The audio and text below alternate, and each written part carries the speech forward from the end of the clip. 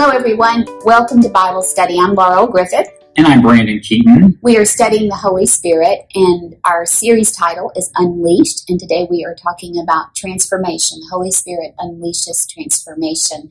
And we are going to look first at Romans chapter 12, verses 1 and 2. These are two of my favorite verses. Oh, very They're so rich and um, such great meaning in here. But we're going to begin with this. Um, but before we jump in, let's pray. Gracious Father, we're grateful for this opportunity to study your word. And Lord, we pray as we come today that you will teach us through your Spirit.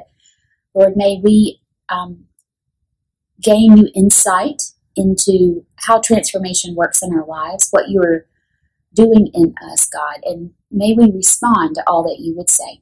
In Jesus' name we pray. Amen. Amen. So let me read chapter Romans chapter 12, verses 1 and 2.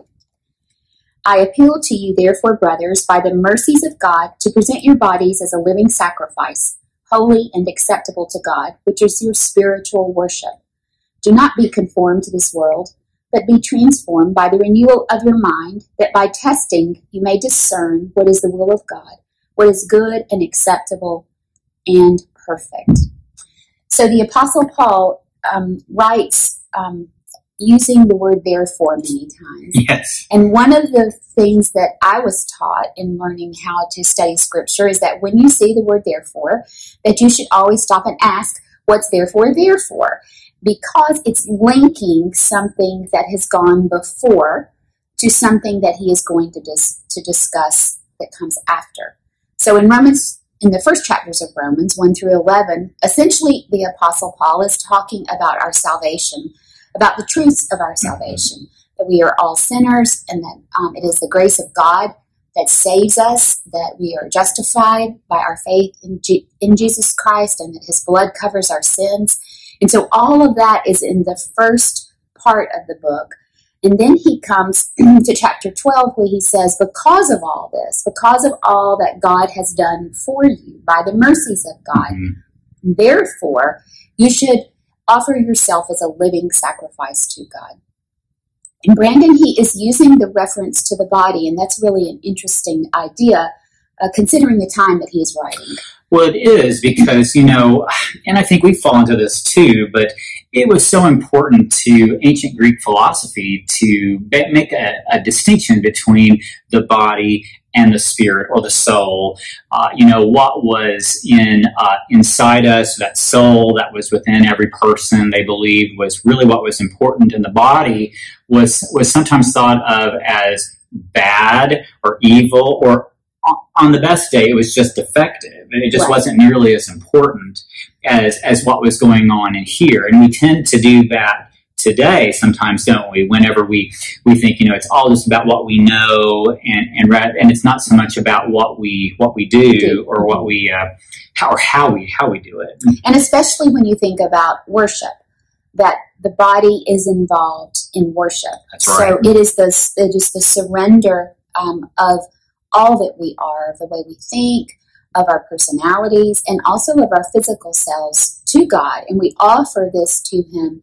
But it's a response. It's a response to the love that He Mhm. has shown us. And remember, the first week when we we discussed that it's the Holy Spirit who pours the love of God right into our hearts. So we have received that love, and because of that, because we have this love now, then we respond by offering ourselves, all of ourselves, and we bring this to God in worship. And then he goes on in, in verse 2 and says that this worship allows us to not be conformed by the pattern Right. of this world. So something is always forming us. that's absolutely right that's absolutely right If it's not scripture, if it's not our um, our spiritual disciplines, where the, where the Spirit is working in us through these spiritual disciplines, then it's something that the world is forming us. well that's right you know something is going to form us uh, that might be netflix Yes, You know, it really Yes. might be, or it might be just the news that we get. Which God help us these days. You know, it's that that's never going to help anybody. or or you may carry the perspective of your family of origin. You may Oh, you may right. have been formed by your parents, and that may have been that may have been good. Of course, it might not have been good. And so you have been formed, and you're going to carry a view or a lens through which you see the world. Mhm. And if and what Paul is telling us to do is to make sure that we bring our full selves, mind, body, all of ourselves to God, offer ourselves to God in worship, and then we will be formed not according to the principles of the world, but we Right. will actually be transformed and our minds will be renewed so that we have a different lens, a different perspective. We see things differently. Well, that, that different perspective really is that the Holy Spirit is our perspective. Yes. You know, it is. It's not that we just go to God or whatever, but it's that we are really trying our very, you know, not just our best, but through His Spirit's power, are able to think the thoughts of God, to understand the things of God. Uh, whenever we, uh, whenever we live like that, that again, like we talked about last week, that's that's more than a second nature. It's it's our, you know, it's God's wanting that to be our first nature. It's our default that, Right. that our first response instead of anger becomes to be might be compassion, or we are no longer inclined um, to want to participate in something that is that is negative or, or wrong. We don't have the interest in that anymore. And here's the the important thing about all of this, and this is the thing that is so startling um, to so many of us and that is that this is this is not accomplished in us. This um, idea of uh, eliminating sin from our lives or becoming people that look like Jesus, it's not accomplished in us by our own willpower. It's not something that we um, try harder to achieve or, or try harder to do, but rather this is the beautiful part of this that this is the result of the Holy Spirit at work within us. Right. It's not a willpower thing. If I can just do this one better, if I could just remember to say this, it's not like a list of things that I have to remember. You know, thee before thou, except after thine, or something crazy like that. It's not like that. It's really meant to be something that we that we know deep down. That's not just something that I know up here. We we talk about. You know, I remember people saying head knowledge versus heart knowledge, but it's almost like head knowledge versus body knowledge because you know there are some things that we just know instinctively and a lot of that does come from like our families you know that we grew up in or just from the world around us Or from the repetition. yes that we definitely respond because we have done it this way so often or for so long. But what the Spirit does is begin to change those responses. right because those habits that we have you know they, they had to be formed by something Right, and, and right. repetition is usually it's usually the one you know it's like i think about it we've talked about this before that i I am addicted to, to uh, fried chicken. You know, I just, I just, lo- you know, love knew, chicken right? Strips. Yeah, I know. It's just crazy to think about it, you know. And I sure like cake, and pie is not bad either. Right, right, You know, I, I love it. And so, you know, uh, if I have that every once in a while, it's that's one thing. But if I have it every day, you know, that is really forming who I am, what I look like. Right. And so, you and know, how you feel, and then how you're able to engage with the world. that's exactly right. It, it, we, we don't give enough credit to that, uh, that how much that really does shape our worldview, the view that we have of ourselves and of the world. It really does affect it. It does, it does, Brandon. And so let's come back to this second verse here and and put this thought together, and then and then jump back to what you're saying that what happens to us as we respond to the love of God, we Mhm. offer ourselves to God as living sacrifices, all of ourselves, that the Holy Spirit transforms us. And so we are no longer conformed to the world, but we are transformed into the image of Christ. And then here's the here's the final part of this that's so wonderful. We begin to know what God requires. That's right. We know God's will in situations, and that is the thing that is the overflow.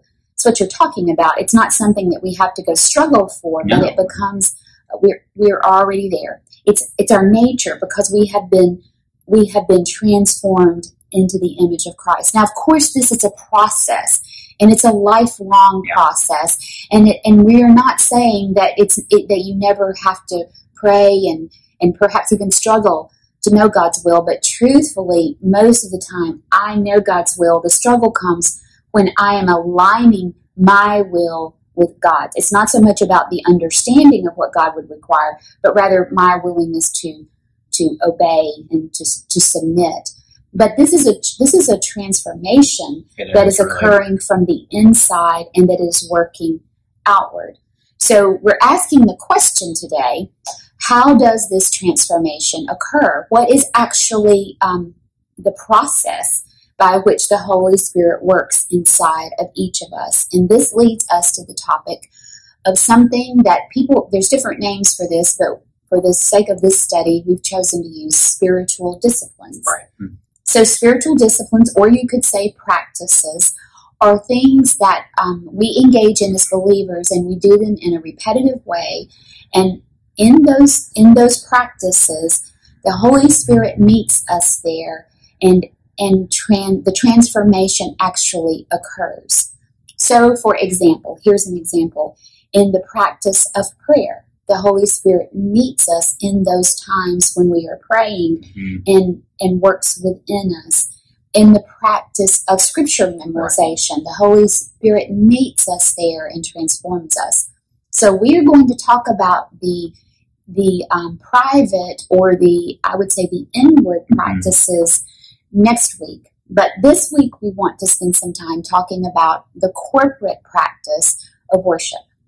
I think that's a good place to start. I really do. Brandon, share the example that you that you shared with me about going to sleep. I think that's a wonderful example. What's What's interesting is, I mean, the point that we have to get to a place where we are putting ourselves in the right position, in the right posture for worship. Well, in, with regard to sleep, you, know, you think about sleep. You know, I, you know, I don't know about you, but whenever I get ready to go to bed, you know, I, I I, there are things you do. You brush your teeth. You, you, I don't know. You might comb your hair. I don't usually worry with that. No, but I get But, my uh, pillow. I yeah, you right know, pillow. You're right. You get the right pillow. You get the, you get your covers just right. The light has to be right. Yes, exactly. It can't be too hot. The temperature has to be You know, right. it's just got to be just, just And right. Brandon, I've gotten to where I like to listen to rain. We have this app, and I listen to the rain while I sleep, Yes. and it just sort of makes all the pressures just sort of Well, dissolve that's good because I would listen to that and think, "What's that rain doing there?" You know, I'd just be like, it would make me a little bit crazy, you know. I love but it. uh, well, there you go. But I sleep with earplugs and everything. But that's that's uh, for other reasons. But you know, the thing is, is though, what I have to do is I have to get into a posture that allows me to go to sleep Right. because I don't just go to sleep. I don't, and, and, you know, sleep. It's not like I can say I'm going to sleep now and then lay down and I'm asleep. That it doesn't doesn't work that way. And so I have to put myself in the posture for sleep. I have to imitate what sleep is, what it's like, and then by doing that, eventually the gift of sleep comes along. And then we've done it. And so that is what we want to talk about today with corporate worship is that there are many ways that we put ourselves in that posture. for to to be able to meet with God. So when we put ourselves through the spiritual Mhm. disciplines, whether the corporate or or the inward disciplines, what we are doing is we are positioning ourselves to hear from God, for the Spirit to do the work within us. We are not doing the work. We are not making the transformation. We are not making the change within us, but we are getting in the position so that the Spirit can bring the change within us as we open ourselves to Him. It's a beautiful It example. is. I can It's- I can understand it with the sleep example. That's a great example of it. Well, it's it's powerful though, but you know, and, and in our worship though, we think about it sometimes. Again, we, we get our body and our spirit just so out out of joint, out of whack. But but here is the thing: is that by put, by putting our body through the, the motions of some of those things, oftentimes that gets our mind in the right place. It gets our spirit in line, in tune.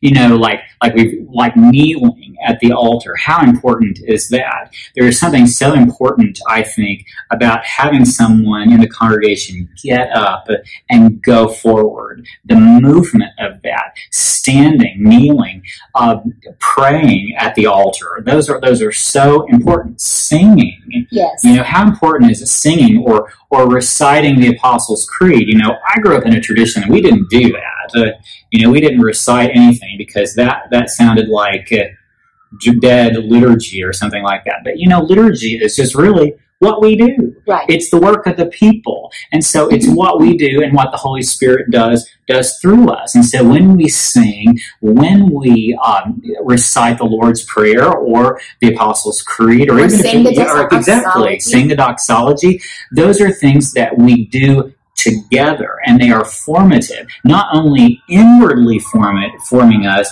but they're also outwardly forming us together Yes, it's a collective experience, a corporate experience. And the Holy Spirit is not only present within us, but the Holy Spirit is present in our midst and is moving. And I think there's something so key here about the need for repetition. yes So there's there's a reason we do things the same way. We we follow an order and we repeat every week. You're going to say the Apostles' Creed over and over again.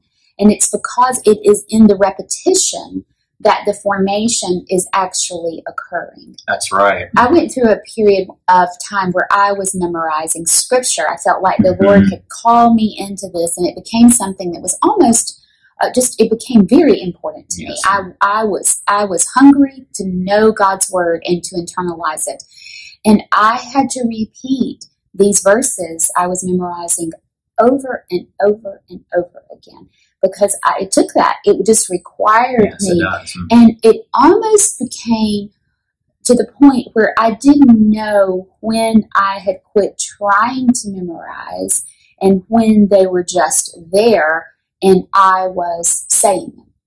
So the, the Lord was in the process, and at some point, I was no longer working so much as I was just expressing them.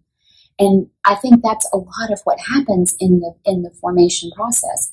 We engage and we pray, we sing, we do all the things, and as we are doing them, we are being transformed internally inside.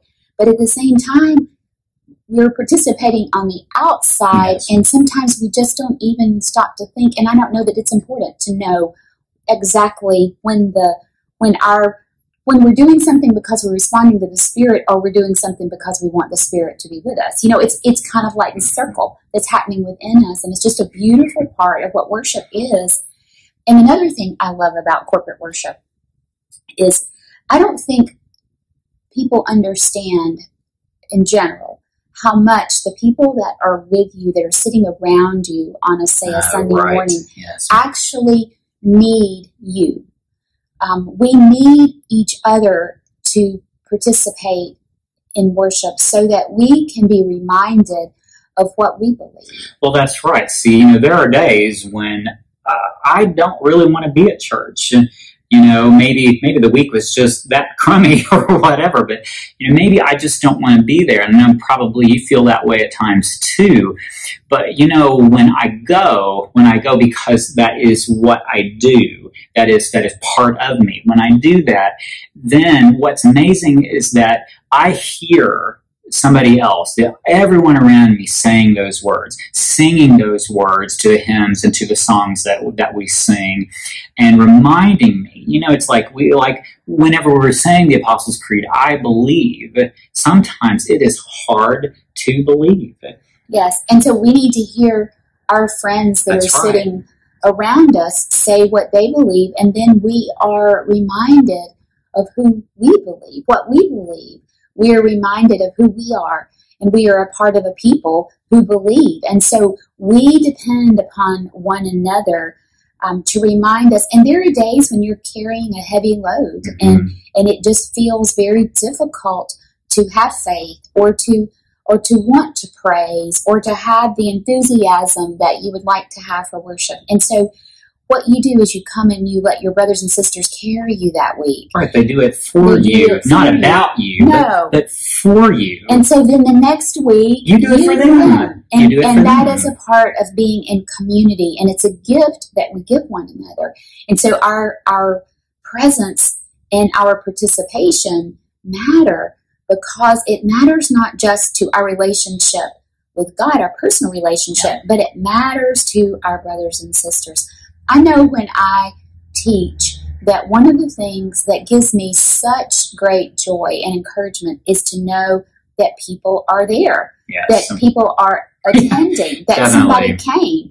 There is a sense of encouragement. It encourages me to want to be there too, to want to teach, to want to be able to provide something um, to the, the people that have gathered. So we depend one another. And you know, it's never been more challenging than the season where we are. That's right. So we need to say this very carefully because we understand that right now it is not possible for everyone to be together. There are people who are not able to come to be physically present, and there are people who are not comfortable being there yet. And so, hear this. That is not. It's not an indictment No, no, of that at no, all. at all. But what it is saying is that that um, this is a beautiful thing. This community, the the worship together, and so I would think that if you are worshiping virtually at this point, Mhm. then you are going to have to do even more preparation, even more prayer, so that you have that so that you benefit and you feel from being a part of that community. That it's not that it's impossible. It just requires perhaps a little more commitment, a little uh, paying attention a little more more closely, and also the commitment to not get distracted and to quit viewing. You know, Right. just like it's it's we can we can get in the habit of missing church when we've missed a few weeks in a row. We can also get in the habit of missing church when we quit viewing a few weeks in That's a row. So, however we are participating in the life of the congregation right now, I think what what what we're talking about is the need to be present, the need to be present in person, or the need to be present virtually, because the presence matters. It matters that we are here. We need one another, and it certainly matters to what God might be doing within us. Well, that's definitely true. I guess though we come to the question of like, well, how do how does this all? How do we do this? you know, because it seems so like we talk about it, it seems so so easy. We'll just do this, but that's the thing is that it's not. There's not one exact way to do to do any of it. Uh, you know what? Uh, what is one of those kind of crazy things to, to me is that oftentimes we look at this life, this the worship that we have in church and and on our own for that matter. But when we're together, uh, we oftentimes will uh, think this is very mundane. You know, sometimes we think it's it's you know there are some days like we've talked about where we don't where we have to help each other out, and and all. But sometimes we again have to help ourselves out, and we have to put ourselves in the posture to receive that, you know, from the Lord, what, what the Lord is giving, what the Lord is saying. Sometimes, you know, the, the sermon might be what you're, what you're really there for, and you really need to hear that. And then sometimes you just need to be there for music. And sometimes you need to be there for the corporate praise, the corporate uh, worship where we, where we speak out and where we sing together. You know, and sometimes we just kind of have to get into what's going on you know Well, I think um, one of the biggest things we have to do is we have to come to participate and and not to evaluate. right you know it's like we oftentimes think of ourselves as spectators in worship rather than as participants That's right. That's right. So the job of the leader, um, the job of the person that is leading, or all of those who Mhm. are participating, is to create opportunities for those who are in the congregation to be able to experience the presence of God, to, to be able to worship, to be able to come in contact with God. So the opportunities are there, are designed to give you those opportunities, and but it is the, up to the person to, to be willing to position themselves to engage in those opportunities. So, for example, when when you um, when we stand to say the Apostles' Creed, you can say the Apostles' Creed from a rote kind of place, right or that's you right. can affirm your faith with conviction, um, and you can reflect on the words as you are saying them. So there's both ways you're you're vocalizing words, yes but but in some one way you are internalizing what it is that you are saying, and you're giving testimony to that that you believe. And so it's this it's this passionate participation that I think is where we really um, experience the presence of the Holy Spirit I think so. moving and, and doing the transformation. And it's really easy to drift back into the observation mode. It's really easy to get distracted or to go somewhere else in our mind and our thinking. Mhm. Very. And, and it's not that that is a that it's not that that is wrong. What, but but what we need to do is not stay there. We just need to Right. recognize, oh, right. yeah. I just did a grocery list, or oh, I just planned dinner, or oh, I was thinking about this afternoon. Lord, bring me back. I want to participate. I want to offer all of myself Mhm. to you in this moment. And I think the Spirit will do that. I I think so. You know, there's this great passage in Ezekiel um, that uh, talks about the river that comes out of the out of the temple. Uh, you know, Ezekiel was one of those um, peculiar is probably a nice way to put it. A peculiar prophet who acted out all of his parables and prophecies. So he was uh, very odd, but he has this uh, wonderful passage at the end of Ezekiel in, in chapter 47 he sees the temple that's been rebuilt and there's this water begins to flow out of it and if we look at verse uh, 1 uh, of chapter 47 of ezekiel it says the man brought me back to the entrance to the temple and i saw water coming out from under the threshold of the temple toward the east for the temple faced east the water was coming down from the underside from under the south side of the temple south of the altar he then brought me out through the north gate and led me around the outside to the outer gate facing east. This is a whole lot, isn't it? And the water was trickling from the south side. So we get that visual that it's just a little bit, a little bit. As the man went easter, eastward with a measuring line in his hand, he measured off a thousand cubits, and then he led me through water that was ankle deep. He measured off another thousand cubits and led me through water that was knee deep. He measured off another thousand and he led me through water that was up to the waist. He measured off another thousand, but now it was a river that I could not cross because the water had risen and was deep enough to swim in, a river that no one could cross. Well, what is this if not the Holy Spirit being at work? And what, what we see as those in the next few verses is that water goes to the to the deadest desert in all the world and brings it to life. Mhm. That that's that, that that's the kind of life that we can have if we will dive into it. You know, and so but but we don't normally do that immediately, do we? No, You know. and and so uh, as I understand it, what your choices are is you can stay on the bank, Right. which means that you're just going to observe what is going on around you. That's you. right. And then you there's a next level. You can move in and you can get your feet wet, maybe up to your ankles, and so you're tasting it a little bit. You're experiencing the maybe the temperature Yes. and, and a little bit of the sensation of the of the water. But then the spirit calls to go deeper and deeper and Mhm. deeper. But then there comes a point where you have to make a decision. Am I going to continue to be in control? That's right. Am I going to have my feet on the bottom of this of this river? Or am I going to jump in? Am I going to surrender Let it take you over. let let the river Mhm. take me over and i think worship it's a beautiful beautiful illustration of the choice that we have to make in worship when we come we can we can sit back Yes.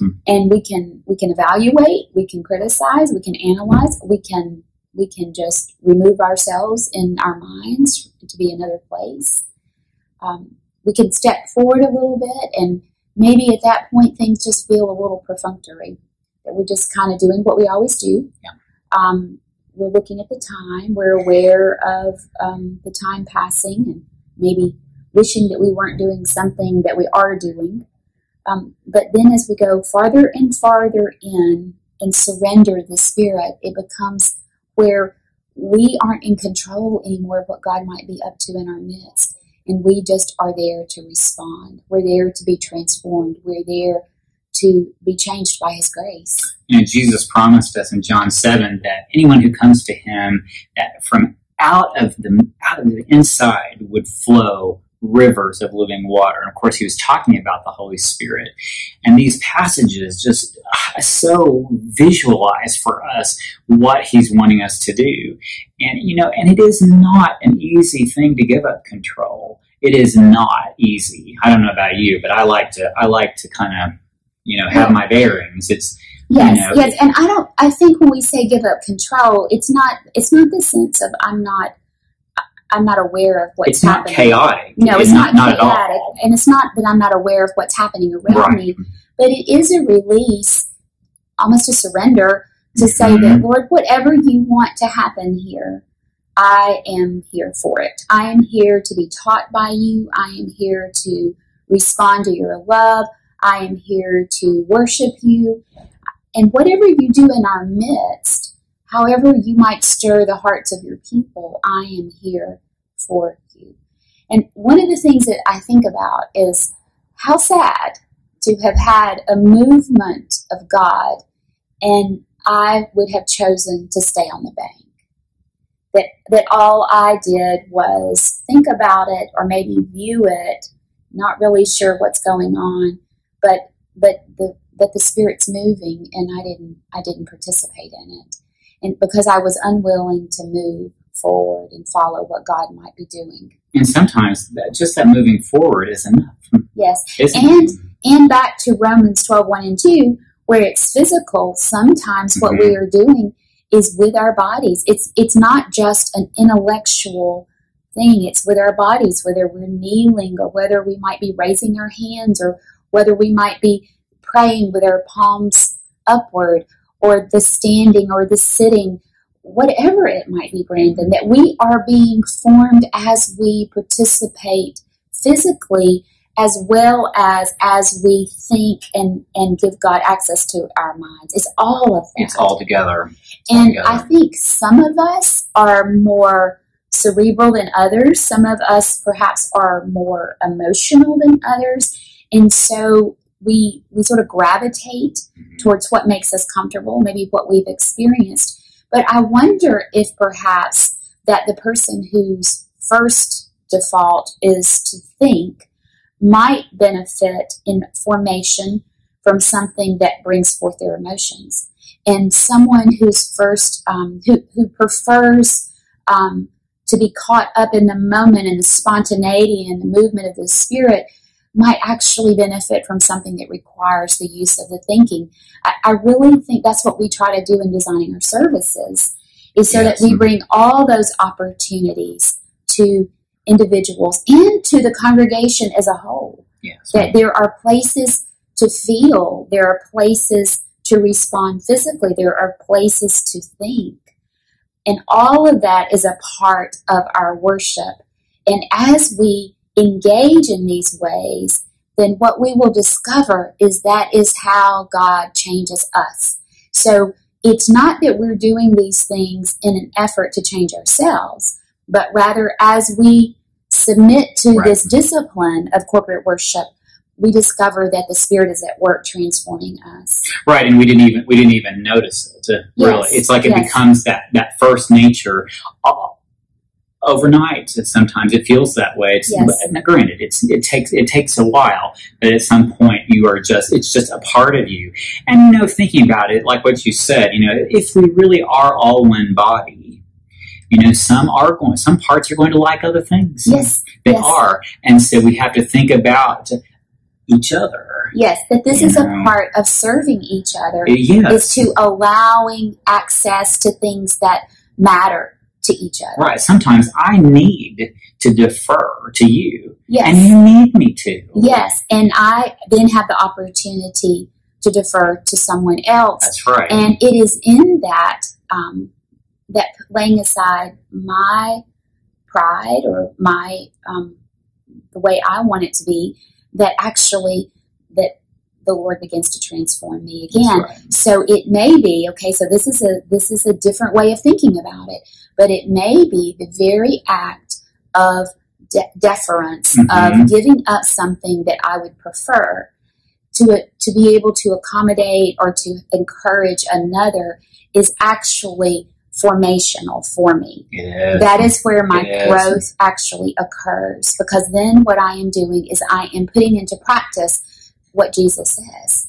Well, and on the other, on the flip side of it too, when we're doing that, I just find that our our needs are taken care of. Yes, yes. Our He midst- takes care of it. Yes, and then something happens in our midst because then we become a body who are constantly looking for ways that we can bless another person. That's right. That I can surrender this so that you are comfortable.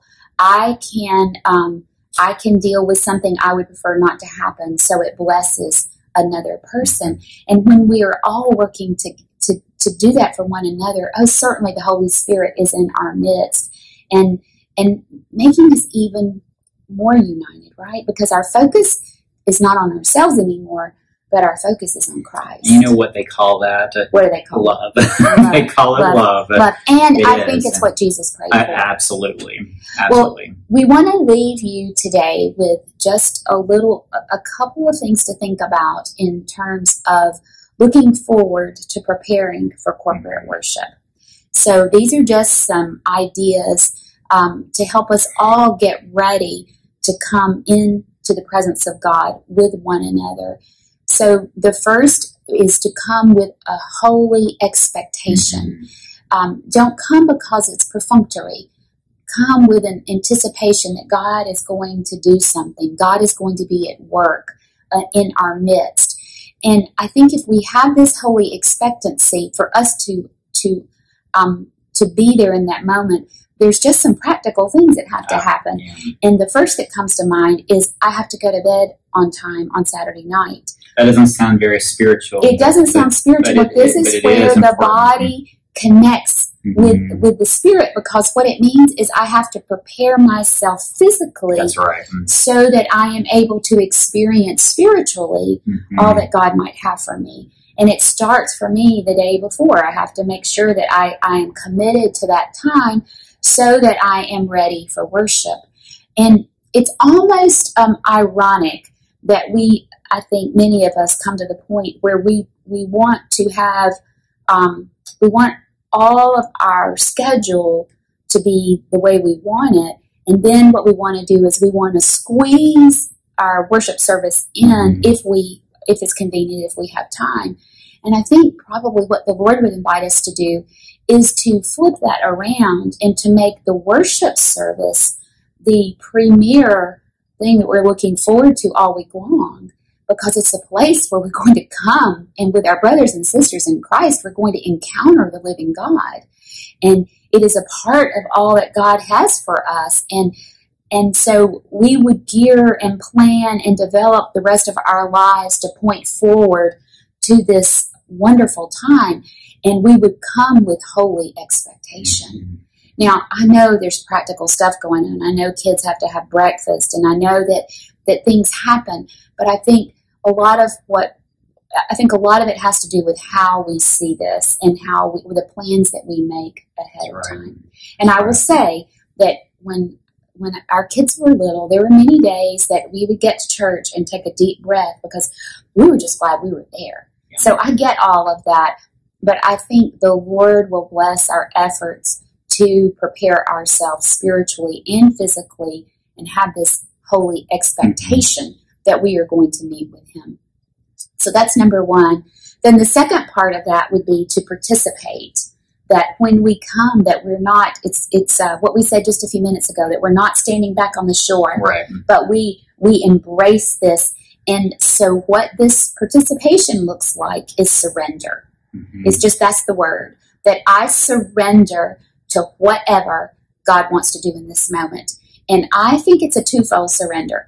I think it's a surrender to the service. Mhm. So the the plan, the flow, the dynamic, the music, the message, the prayers, how all of that is working that I I give up the need to control. I give up the need to manage this and I release this That's right. and participate in wh- wherever we are going together today. So I surrender here, but I think probably the bigger surrender is that I'm surrendering myself Mhm. to what God would do with me that happens in the service but then goes forward into the world. So this is a twofold surrender, but perhaps some of the surrender that happens on the superficial level, the surface level for the service is an indication of the surrender that I'm having internally. That if I'm controlling this, then maybe I'm not saying this is definite, but maybe I'm controlling some other things that I'm not releasing to God as well. That maybe these two things are linked in some way. And that what God is doing by making us need to surrender, that this part up here, surrendering, I like it this way and it's not this way, but maybe that what the Lord is asking us to do is to learn how to submit, to learn how to surrender, and feel this weight being lifted off of us, not just in terms of our preferences at church, but throughout our lives. I think it's interesting that uh, sometimes when we give up the superficial, we gain the substantial. Oh, that's good. You know, y'all like, write that down. Yeah, superficial and substantial. That's that, good because you know that superficiality up above it. You know that's that's here. It's like I don't like this or I don't want to do that. When I can give that up, a greater gift are we given? Yes, yes, mm-hmm. that's beautiful. And what can God do in us exactly. through that? Exactly. Well, then, and ultimately, finally, we have holy obedience. So, holy expectation. We come expecting to meet with God. We surrender and then we leave in holy obedience. And it flows so that we leave um, wanting to live out um, what God has put in our heart. But it's not a legalistic kind of thing. It's not like I'm leaving with five things I have to do, but rather I am leaving as a transformed person and I'm embracing what the life of Christ. And then as that unfolds during the week. So we mm-hmm. believe that these are connected to one another. We believe uh, that yeah. corporate worship and your private inward disciplines are, are connected. And next week, we're going to talk about the inward disciplines and how they flow into the corporate experience and see how they might be linked in what the, in what the Holy Spirit is doing within us. So it's been a good day. It Brandon. has been. It has been. Thank you guys for being with us, and um, we look forward to seeing you either online or in person on Sunday morning. And maybe from now until then, you might begin to ask God to prepare your heart. I know I'm going to do. What is He going to do? What is God going to what is, do? And, and what can I do? What What is my part? And what is God going to do in our midst this Sunday? Uh, come with a sense, whether you're tuning online or whether you're coming in person, come with a sense of anticipation uh, to see what the Holy Spirit will do in our midst. Let's pray. Father, we're so grateful for corporate worship. Lord, the times that we can gather with our brothers and sisters in Christ and can hear you. And Lord, we know that this that during these times that some are not able to come, and we understand, Lord, and we just pray blessings on these people who are being so faithful to tune in online, who are gathering virtually even to hear this Bible study right now. And God, you are not limited by space or time, and you move in our midst, whether we are in a sanctuary, a physical sanctuary, or whether we're watching on a computer screen. We know that, and we can feel your presence, Lord. We have experienced this. And so, God, we are grateful for this. We are grateful for the gift of technology, and we are grateful for the gift of um, in-person worship. And so, God, we bring all of this to you. We we come, Lord, as your as your children. We come as worshipers, Lord. We are we are in, responding to your invitation to come to you. And so we pray that you will move in our midst, that you will renew us, that you will transform us as we respond to you. We ask all of this in the name of Jesus. Amen. Amen. It's great to be with you. We hope you have a good week. And we can't wait to hear what the Lord is doing in your life. That's great. See you later. Bye bye.